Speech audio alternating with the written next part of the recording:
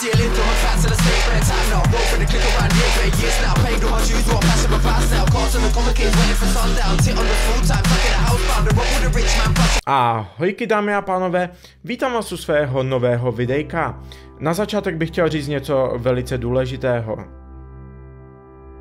Ano, je to sice obal od pici, ale není můj. E, Používám to jako podložku, jelikož tu druhou moji podložku, což je bomboněra, mám někde jinde. Já jím zdravě, já jím jenom zdravě teď v poslední době, e, protože chci být zdravý. Každopádně, ještě bych vám chtěl poděkovat e, za všechny komentáře, které jste mi napsali včera k videu o hudbě. Poslali jste mi hodně uh, komentářů s vaším doporučením hudby, většinu z toho jsem si poslechl a velice se mi líbí, akorát uh, jsem na všechno nechtěl depisovat, protože by v tom byl jednoduše bordel. Každopádně o čem chci mluvit dneska? Dneska bych rád mluvil o uh, Valentínu, já tomu říkám Valterín, radši se ani neptejte proč. Každopádně budu o něm mluvit, protože jak jistě všichni víte, je v sobotu. Ono, Eh, Lidi se rozdělují na dva tábory a na mě v tomto případě. Jeden z těch táborů je ten, eh, který uh, je do toho úplně hotový, je úplně jo, Valentínek, tu, tu, tu, jo, slečny úplně nabuzené a všechno úplně úžasné. Druhý z těch uh, táborů je ten, který říká, fuj, to je komerční, no, no, no. A potom třetí z těch táborů, nebo třetí, což jsem já, je ten, že já toho využívám, jo. Protože k tomu se dostanu za chvilku, ale pojďme si to všechno uh, tak nějak uh, říct po pořadě nebo na přeskáčku. Začnu druhým táborem. Druhý tábor je ten, který říká, no to je komerční, jo.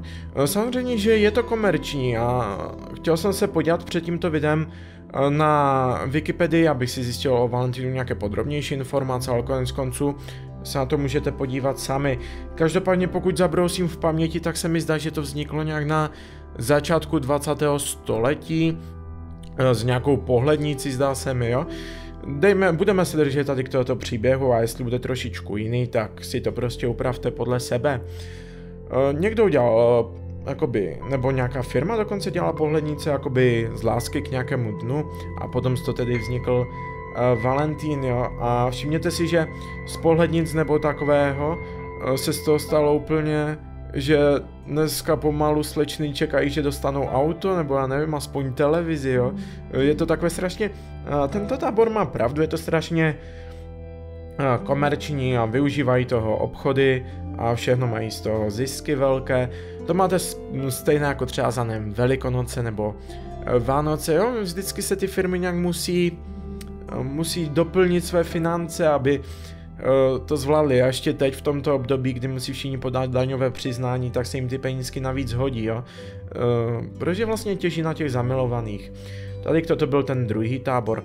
První tábor je ten, uh, který si ani neuvědomuje, že jde vlastně o komerci, jo. Oni jsou z toho úplně, on je to součástí naší společnosti, už je to tam tak vryté, že vlastně ti lidi to berou jako něco, co je samozřejmé, jo. Oni prostě, já říkám, když někoho milujete, nebo máte rádi nebo kohokoliv, tak mu dejte cokoliv, kdykoliv. Nemusíte čekat na nějaký uh, den, kdy uh, vlastně ne, vy nejste originální. Jo. Třeba kdyby mi někdo, nějaká slečna dala něco na Valentína, tak samozřejmě bych byl rád, že mi vůbec něco dala, ale štvalo by mě, že, to bylo, že by to bylo právě na Valentína, protože to je potom už takové, jakoby těm lidem už to přijde takové i z donucení, že to musí dát, protože dávají ostatní, jo. A teď představte si tu situaci, když jste pár, jo. Jeden uznává Valentína, druhý neuznává Valentína. Tak ten jeden uh, tomu druhému, třeba uh, muž ženě nedá nic, jo a je to naprosto v pořádku, protože proč by vůbec dával zrovna v ten den? Vím, že ta žena začne být prostě uražená, že nic nedostala a tak jo, je to, tak, je to taková fraška, že eh, ti lidi to tak, uh, někteří lidi, hlavně slečny, to strašně moc žerou, jo. No a potom ten můj tábor je ten, že jelikož už je to eh, vžité v naší společnosti a každá žena něco očekává, jo, od toho dne, no tak samozřejmě, že když očekává, eh, tak jsou všechny strašně, ale šílené strašně, mě to vím z vlastní, z vlastní ško, to vím z vlastní zkušenosti, tak je strašně, tak je každá strašně nadržená, tak konečně. Ono, pro, protože oni vlastně hlavně nej, nejlepší jsou na tom nezadané slečny, jo? protože pojďme se na chvilku vžít do mozku slečny, které dejme tomu 20 let, jo. Ona eh, je nezadaná, dejme tomu, a třeba sa nevím, 6. února, jo? A teď všude začne vidět samé srdíčka, vidí všude samé zamilované páry a ona tak začne si říkat, no zase nikoho nemám, no, no zase na Valentína budu sama, to bude takové smutné. No najednou se objevíte, eh, objevíte výzdatný mladý muž, eh, který eh, zavolá, říkám zavolá, protože já nedoporučuju psát slečnám, když ji chcete někam pozvat, jo, protože ona vám většinou řekne, no popřemýšlím a tak, protože ona když píše, tak má kupu času na rozmýšlenou, co vůbec napíše, jo, a chce to hrát tak nějak bezpečně.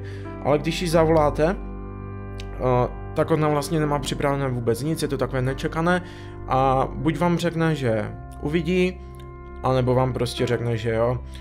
Takže když uvidí, tak to samozřejmě znamená, že ne. No každopádně, když ji někam pozvete, tak a je to na Valentína, tak automaticky od toho očekává něco víc, jo. Neříkám, že od toho očekává nějaký vztah, ale říkám, že od toho očekává uh, aspoň ten sex, jo. Protože jinak by s váma, když si to tak vemete, nešla, jo. No každopádně, když už s ní jste někde, je to úplně jedno kde, já například, já se asi nechám někam pozvat od nějaké, každopádně, když už s ní jste na Valentína, tak prakticky máte vyhráno, jo. Hodně lidí udělá tu chybu, že třeba když už jsou se slečnou a třeba musí vnímat signály, jo. Třeba slečna uh, cítí sympatie k tomu chlapci nebo naopak a nic se neděje vůbec, jo. Uh, tady toto je úděl chlapců, ale já první krok. No a hodně lidí nebo hodně chlapců právě oni hrajou strašně bezpečně, jo. Což není vůbec dobrá věc. Já doporučuji, když už jste za nějakou slečnou a teď se bavíte, jo, evidentně to jde dobře, jo, když se bavíte vy, a tak se evidentně asi baví ona, jo. Každopádně doporučuji, pokud si neví, nebo nejste si jistí, nebo se stydíte, tak když, já nevím, budete kousíček od ní, budete se třeba sa nevím, bavit, tak se jí na chvilku podívejte do očí a pokud bude držet kontakt, je to trošku kliše, ale budiš, tak ji normálně chyťte ze zadu, jemně za hlavu, za její hlavu a vlastně tím, že ona třeba znecukne a už ví samozřejmě, co se bude dít, tak je to dobré, jo. A kdybyste se k ní přibližovali jenom tak normálně, tak ona by cukla a už by... Jo, takže to je takové hraní bezpečně, eh, nebezpečně, jo. Nebo spíš, no to je, no ani to není moc nebezpečné, ale víte, co tím chci říct.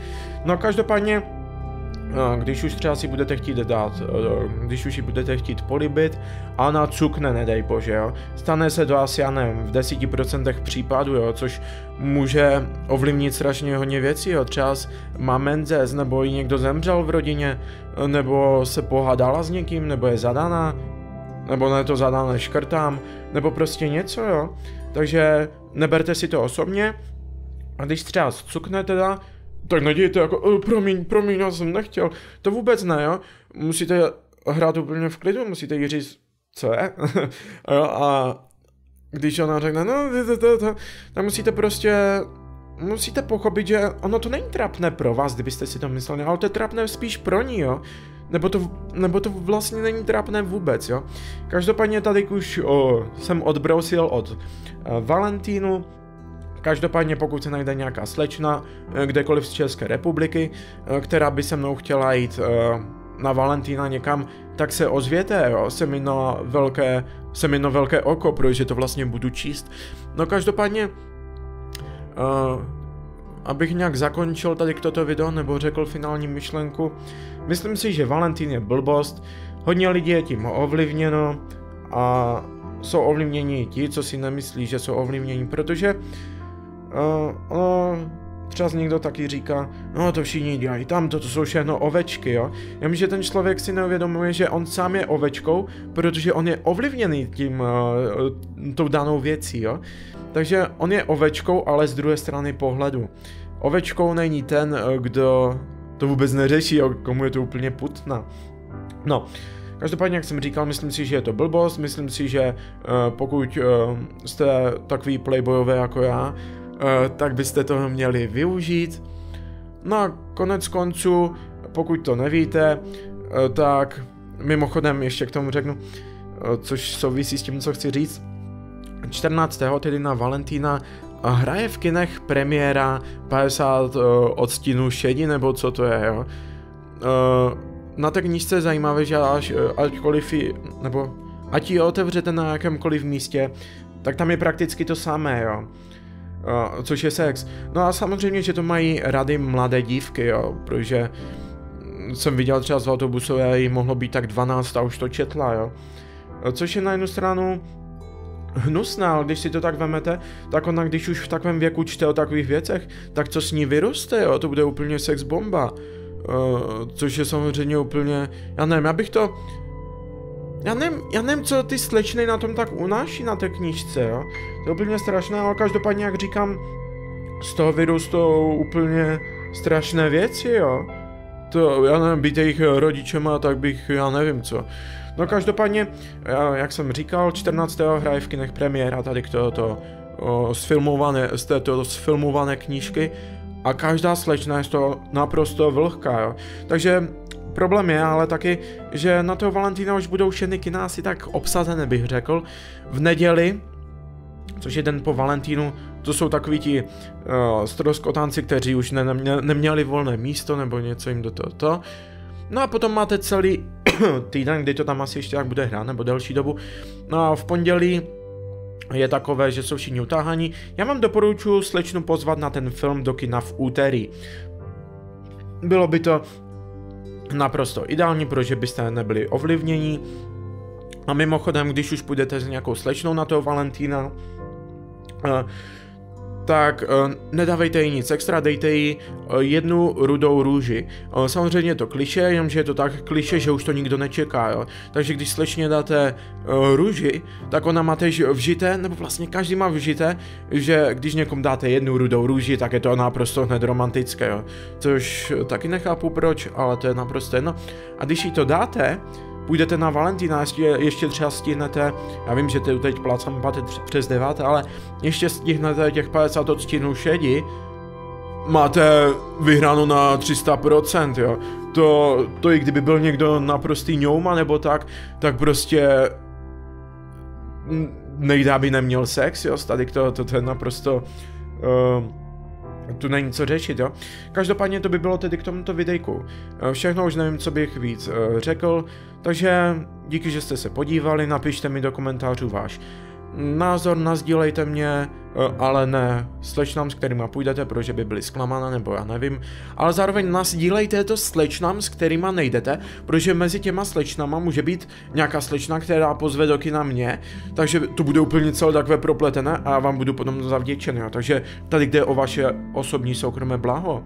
No, každopádně Dejte mi nějaké hodnocení, kladné nebo záporné. Ono totiž eh, často by to vyhodnocuje tak, že on eh, sice bere ohled na to, jaké má co hodnocení, ale když je někde kupa záporného hodnocení, tak i tak má lepší výsledky ve vyhledávání. Jo. Takže když si myslí, že mě, eh, někdo, že mi tím uškodí, tak mi tím neuškodí a možná jsem ještě nechci říkat rád, protože lepší je paleček nahoru, ale budíš jo, lepší než nic.